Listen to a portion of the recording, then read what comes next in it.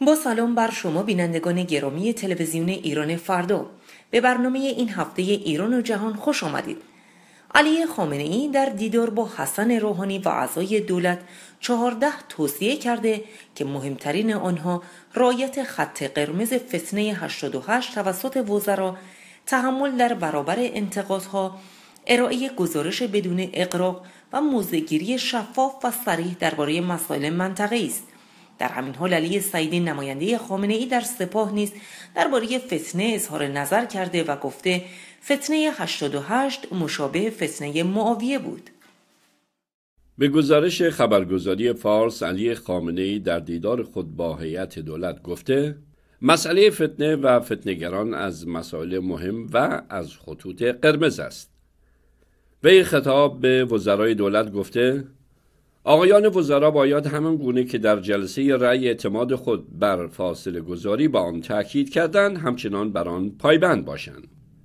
این نظارت خامنه ای در شرایطی بیان می شود که هفته گذشته رضا فرجی دانا وزیر علوم از سوی نمایندگانی که معترض به کارگیری برخی از فعالان حوادث سال 88 در وزارت علوم بودند استیزا و برکنار شد. علی خامنه ای در بخش دیگری از سخنان خود خطاب به حسن روحانی گفته حق دارد از برخی انتقادها ناراحت باشد اما پاسخ به انتقادها هم باید منطقی و با خونسردی داده شود. رهبر جمهوری اسلامی همچنین به دولت یازدهم توصیه کرده در ارائه گزارش به مردم اغراق نکند و دولتهای گذشته را منصفانه نقد کند. وی در این حال از دولت حسن روحانی خواسته موضعگیری سریح و قاطع در قبال مسائل منطقی و بین المللی داشته باشد به گفته وی موضعگیری سریح درباره فلسطین اسرائیل، غزه، سوریه، عراق، تکفیری ها و دخالت های آمریکا به نفع نظام جمهوری اسلامی است و منافاتی هم با مذاکره ندارد. همزمان با علی خامنه ای علی سعیدی. نماینده ولی فقیه در سپاه پاسداران هم با تشبیه دوران کنونی به دوران صدر اسلام گفت فتنه 88 همچون فتنه ای بود که معاویه با کمک تله و زبیر به راه انداخت. به گزارش خبرگزاری دانشجو علی سعیدی افزود زمانی فتنه 88 رخ داد که عده اصلاح طلب افراطی اصول ولایت فقیه را رد کردند.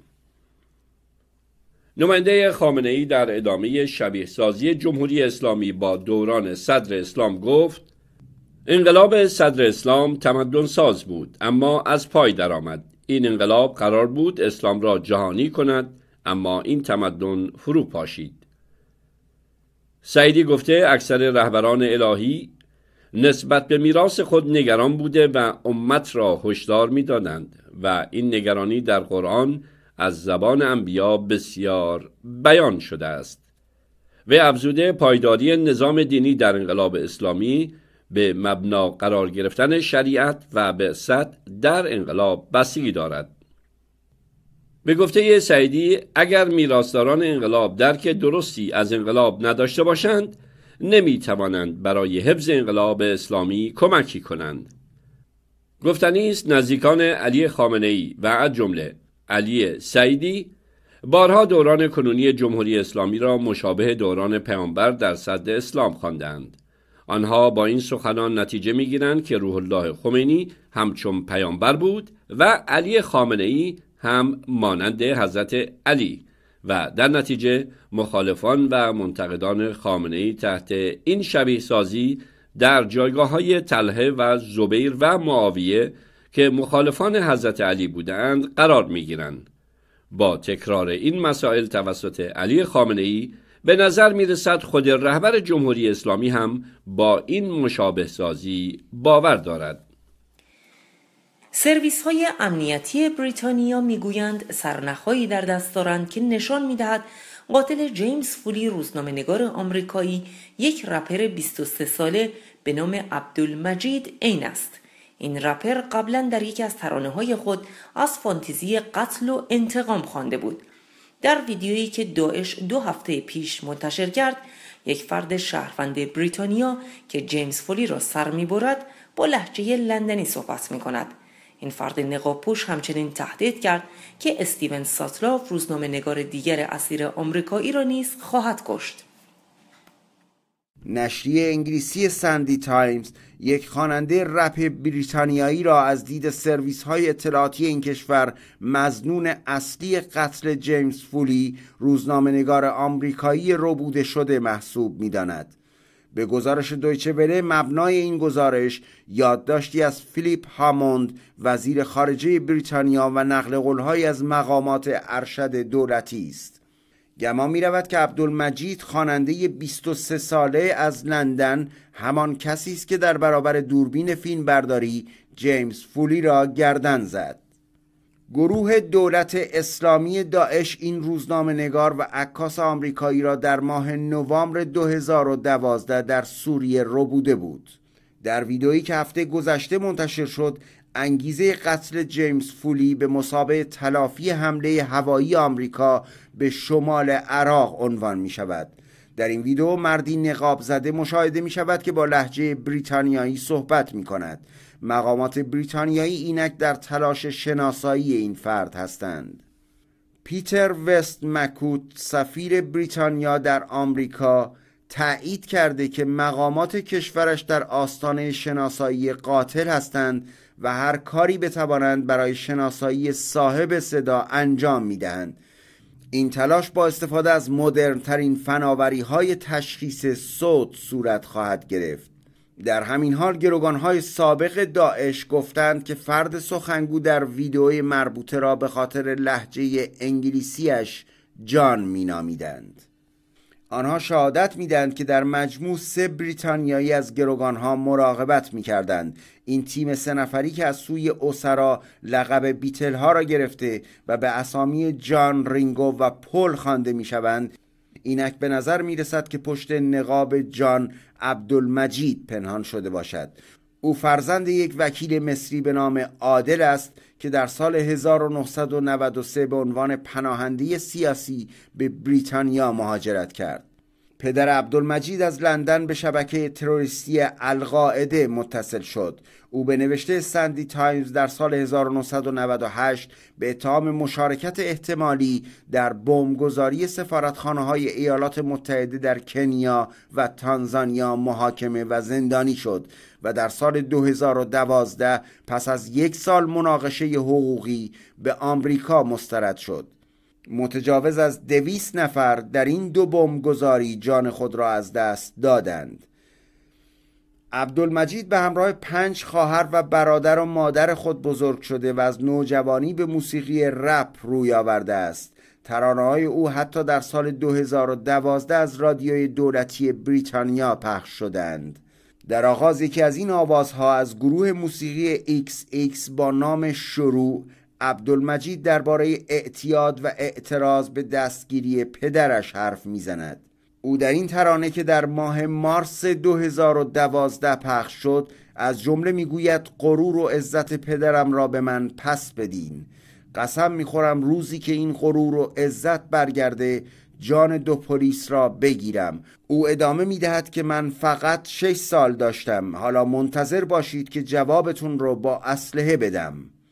روزنامه سندی تایمز می نویسد که عبدالمجید عکسی از خود نیز در توییتر منتشر کرده که سری از بدن جدا شده را بالای دست گرفته و زیرا نوشته است من و هم خانم با چیزی که ازش باقی مانده است حساب کاربری او در توییتر در حال حاضر فعال نیست. گفتنی است طبق برآورد سرویس امنیتی بریتانیا هر ماه به طور میانگین 20 نفر با گرایش های افراطی از این کشور برای پیوستن به شبه نظامیان اسلامگرا به سوریه یا عراق می روند. تخمین زده می شود که تاکنون در مجموع 500 بنیادگرای بریتانیایی به سوریه یا عراق رفته باشند. هفته گذشته با آغاز آتشبس طولانی مدت مورد توافق اسرائیل و فلسطینی ها هزاران نفر در غزه برای ابراز شادمانی به خیابان ها ریختند و برخی تیر هوایی شلیک کردند.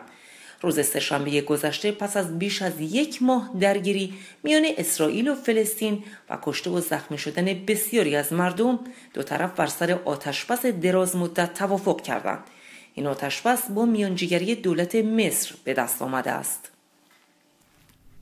خبرگزاری فرانسه گزارش داد هزاران نفر از فلسطینی ها از جمله افرادی مسلح که برخی عضو حماس بودند لحظاتی پس از آغاز آتش در ساعت 16 گرینویچ به خیابان ها آمده و اقدام به شلیک تیر هوایی به نشانه شادی کردند. گروه حماس نیز در مساجد غزه از بلندگوهای بانگ الله اکبر پخش می کردند. گفتنی است حماس که بر نوار غزه تسلط دارد روز سهشنبه از توافق بر سر آتشبس دراز مدت با اسرائیل خبر داد که با میانجیگری دولت مصر به دست آمده است. به گزارش خبرگزاری رویترز سامی ابو زهری سخنگوی حماس در غزه گفت توافق میان طرفین حاصل آمده و ما اکنون منتظر قاهره هستیم که آن را اعلام کند و مشخص شود که ساعت صفر برای اجرای توافقنامه چه زمانی خواهد بود. گزارش دیگر این خبرگزاری از قول یک مقام اسرائیلی خبر آتش بس دراز مدت را تایید می کند این مقام اسرائیلی که در گزارش رویترز به نام او اشاره نشده گفته است اسرائیل طرح مصر برای آتش بس کامل و نامحدود از نظر زمانی را پذیرفته است. گزارش رسانه های بینالمللی دیگر نظیر خبرگزاری آلمان نیز عنوان می کنند که اسرائیل خبر دستیابی به توافق بر سر آتشبس طولانی مدت را تایید می کند. در همین حال خبرگزاری فرانسه به نقل از یک مقام فلسطینی که نام وی اعلام نشده است خبر داده که آتشبس از ساعت پنج عصر روز گذشته به وقت گرینویچ اجرا شد ولی تلویزیون دولت مصر گفته که آتشبس یاد شده ساعت چهار عصر برقرار شد بر اساس گزارش رویترز و به نقل از مقام های فلسطینی آمده که طرح آتشبس قاهره طرفین را به توقف نامحدود مخاسمه فرا می‌خواند و خواستار بازگشایی راه های ارتباطی غزه با اسرائیل و مصر و نیز گسترش منطقه مجاز برای ماهیگیری در مدیترانه می شود. به گفته این مقامات گام بعد در این رابطه مهاینده برداشته می شود زمانی که اسرائیل و فلسطینیان درباره ساخت و ساز بندر غزه به گفتگو می پردازند و اسرائیل زندانیان حماس در کرانه باختری را آزاد می کند. ساعتی پیش از اعلام این توافق اسرائیل با بمباران بلندترین ساختمان های غزه یک ساختمان سیزده طبقه یک برج اداری و بخش بزرگی از یک ساختمان 16 طبقه را ویران کرد. رویترز می نویسد که قبل از انجام این حملات به ساکنان ساختمان ها هشدار داده شده بود که آنجا را ترک کنند و به همین خاطر گزارشی از تلفات انسانی مربوط به انهدام این ساختمان ها منتشر نشده است. ارتش اسرائیل اما از اظهار نظر ویژه درباره این حملات خودداری کرده و تنها گفته است که 15 پایگاه ترور هدف قرار گرفته. از جمله ساختمانی که مقر فرماندهی حماس است. اسرائیل و گروه های فلسطینی در جریان جنگ اخیر غزه در مواردی بر سر آتشبس موقت چند روزه به توافق رسیدند. اما گاه در میانه مذاکرات برای تمدید آتشبس جنگ دوباره از سر گرفته می‌شد. مقامات بهداشت و درمان فلسطین می‌گویند که در این جنگ 2129 فلسطینی کشته شدند که اکثر آنها غیر نظامی بودند. از جمله 490 کودک. از طرف اسرائیل نیز 64 نظامی و چهار غیر نظامی کشته شدند. حسین فدایی دبیر کل جمعیت ایثارگران از تلاش دلالان حرزه سیاسی برای تجمیع اکبر هاشمی رفسنجانی محمد خاتمی، حسن خمینی، حسن روحانی، علی لاریجانی و علی اکبر ناطق نوری برای انتخابات آینده مجلس خبر داده است.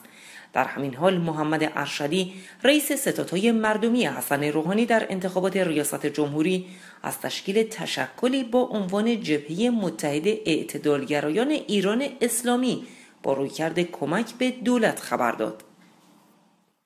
به گزارش خبرگزاری فارس حسین فدایی دبیرکل جمعیت ایثارگران در یک نشست خبری گفته دلالهایی با تجمیع خاتمی، هاشمی، خمینی، روحانی، ناطق نوری و لاریجانی قصد دارند ظرفیت های نیروهای انقلابی را گرفته و اختلاف ایجاد کنند.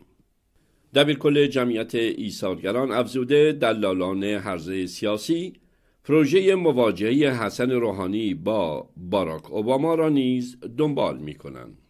به گفته وی در میان این دلال ها عناصر فاسد و نفوذی وجود دارد که برای انتخابات آینده مجلس با ایجاد شک، تردید و ابهام در میان مردم می‌خواهند آرایش نیروهای سیاسی معتقد به نظام را برهم بزنند.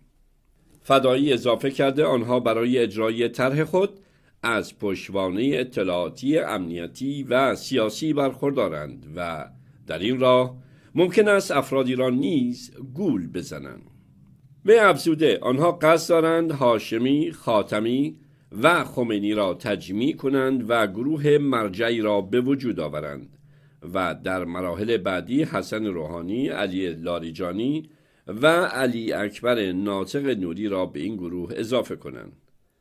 فدایی در بخش دیگری از سخنان خود از تلاش های این گروه برای ایجاد ارتباط میان مقام های جمهوری اسلامی و آمریکا خبر داده است. وی گفته این گروه همکنون نیز تلاش می کنند که اگر روحانی به سفرهای خارجی می رود بتوانند وی را با اوباما روبرو کند و مذاکرات و توافقاتی را ساماندهی کنند.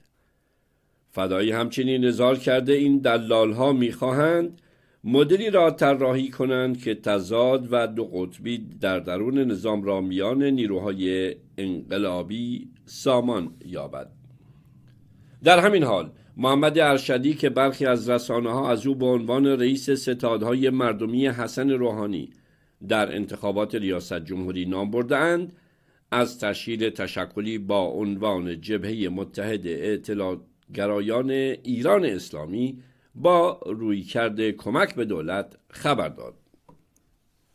وی گفت که این جبهه با عضویت برخی از افراد سیاسی با گرایش اصولگرا جبهه پایداری و اصلاح طلب تشکیل شده و افزود که در این جبهه از نظرات شخصی و مشورتی افرادی همچون آقای اکبر هاشمی رفسنجانی که نقطه عطفی در اعتدال دارد بهره می‌گیریم.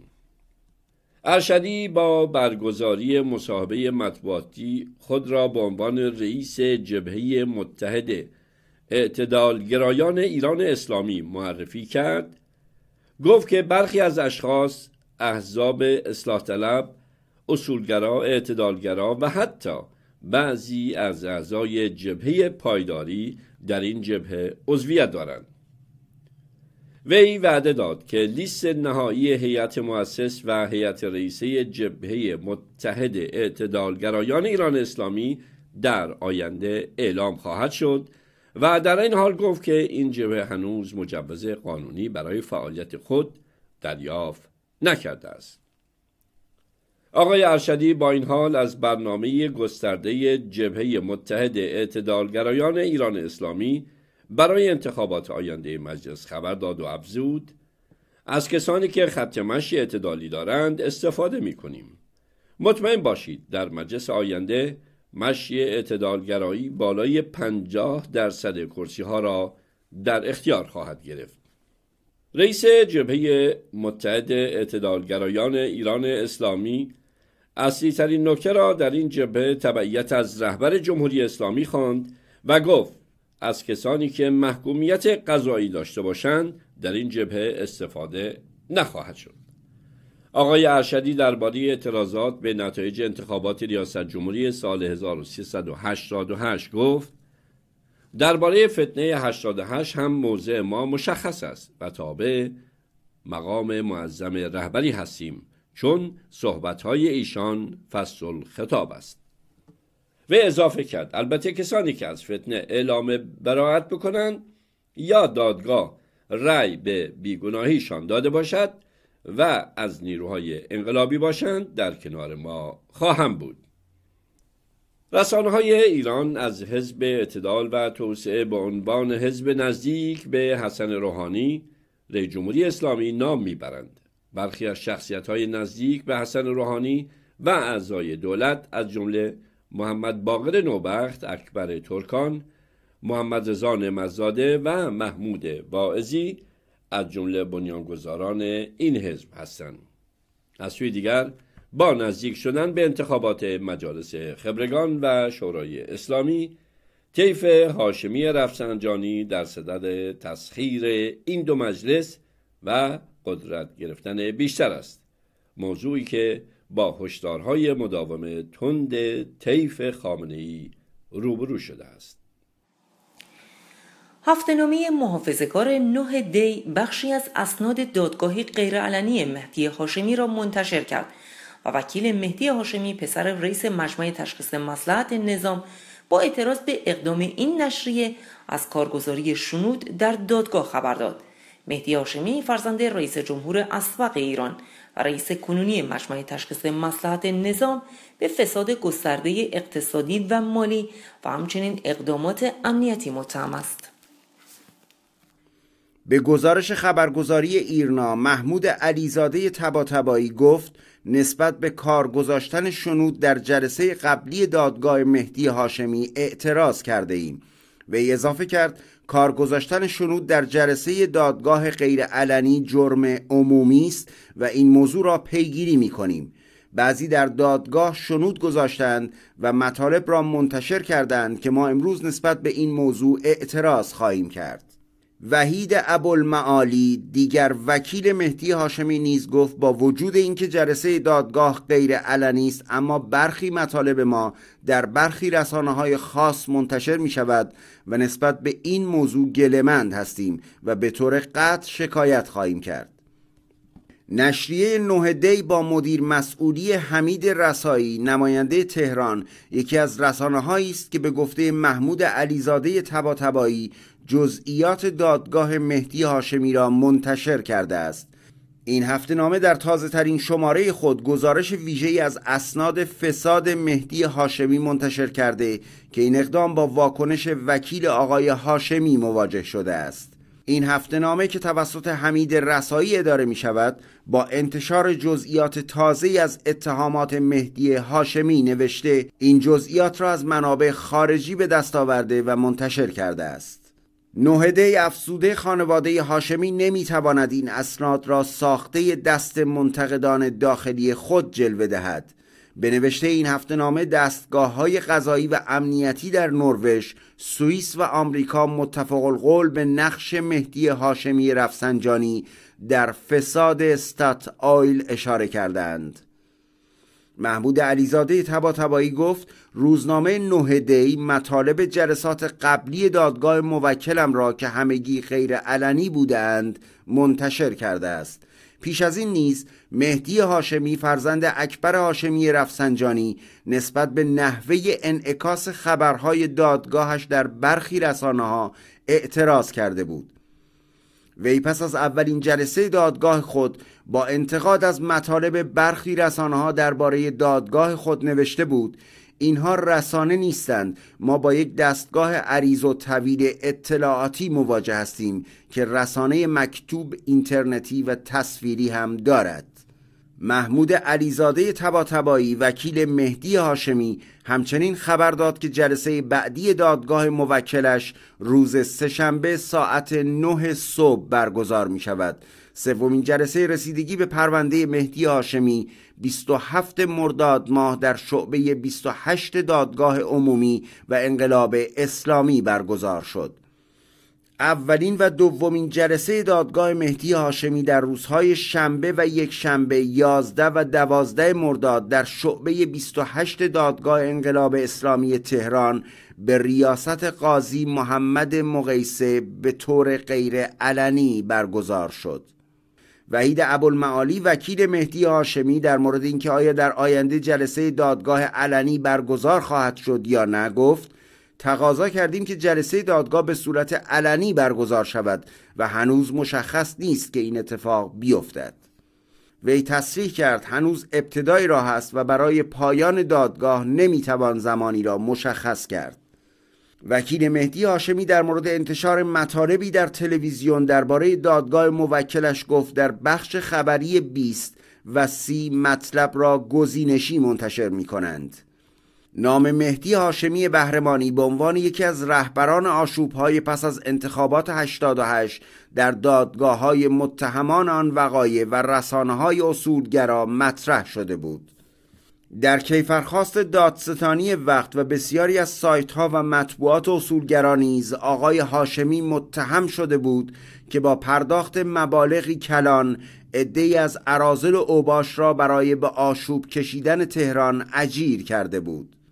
مهدی هاشمی دوم مهر ماه سال 1391 پس از بازگشت به ایران در فرودگاه تفهیم اتهام و پس از معرفی خود به دادستانی بازداشت شد.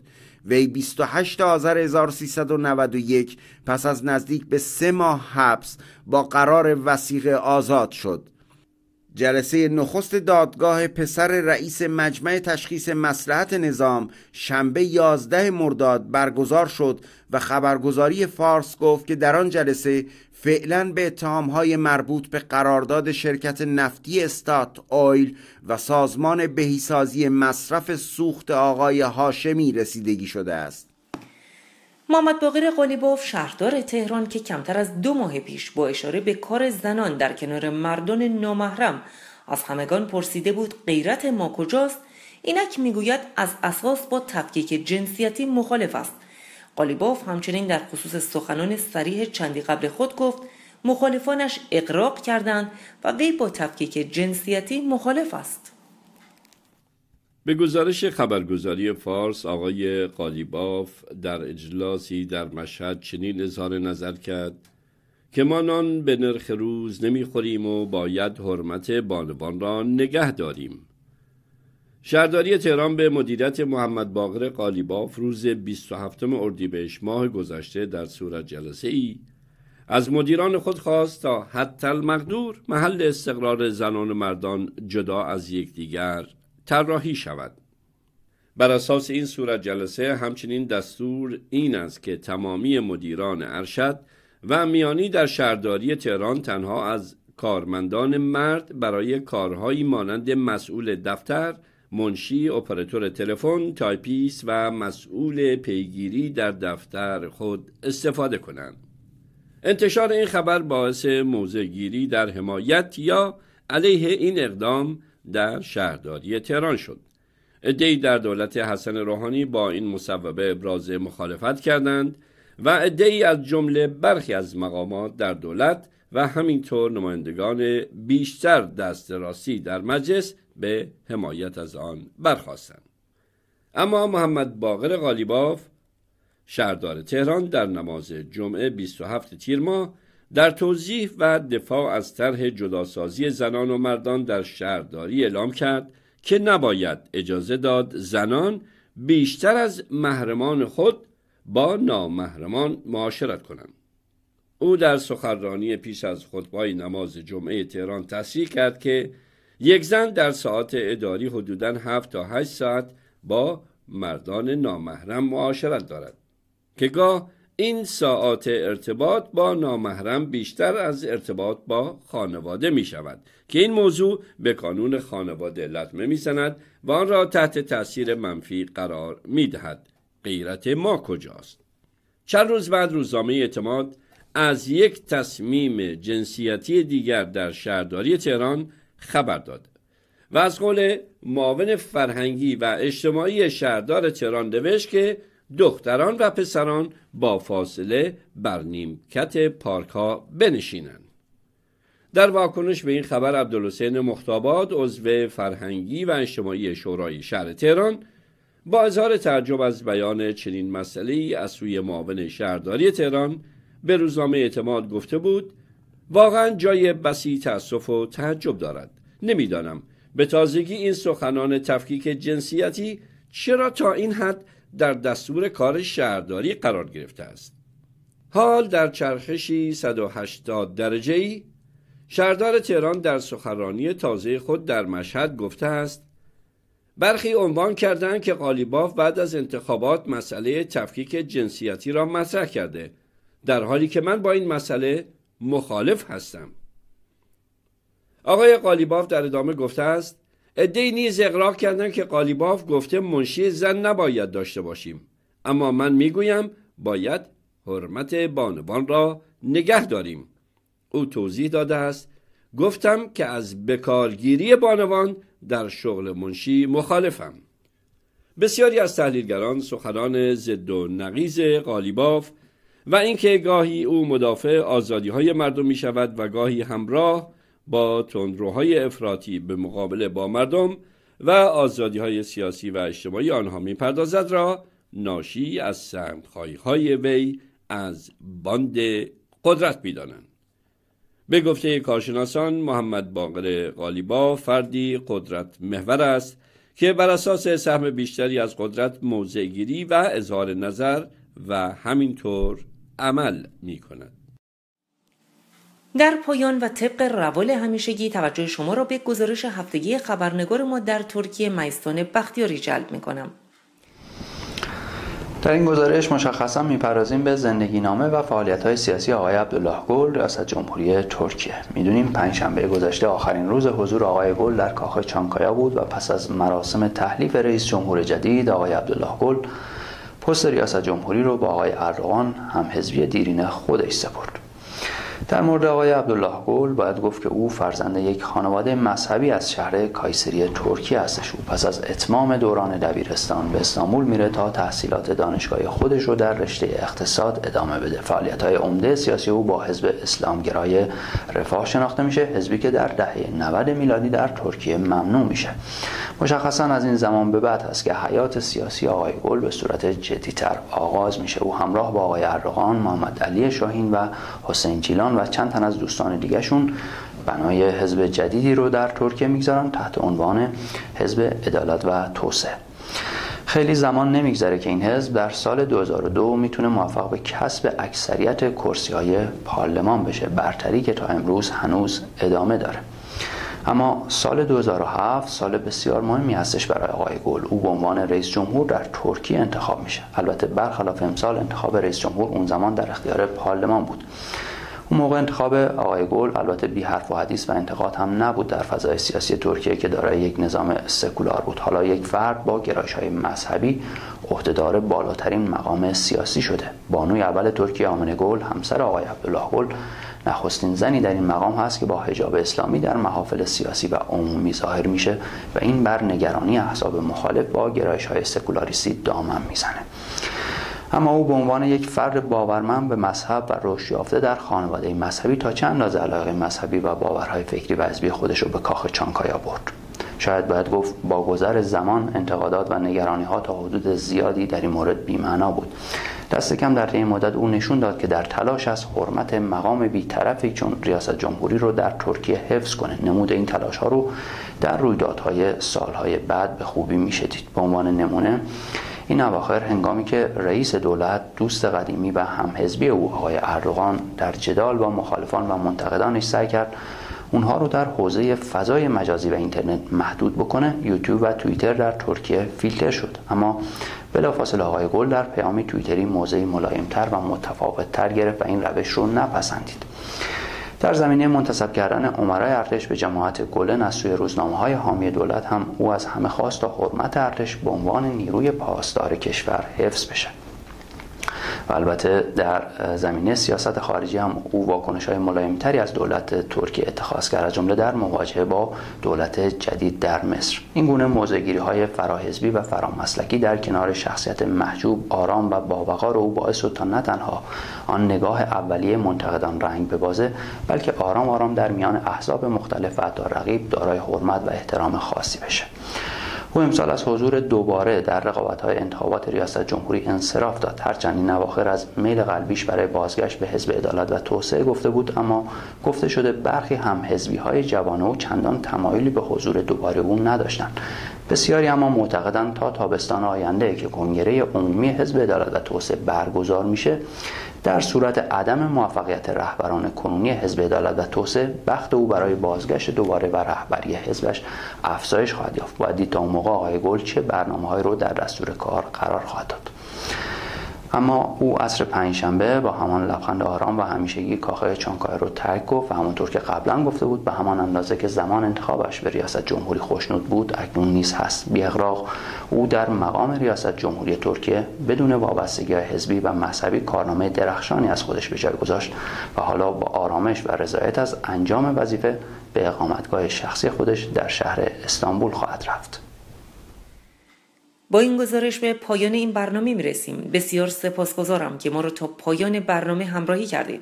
فردا هم در همین ساعت منتظر شما هستیم. تا درودی دیگر بدرود.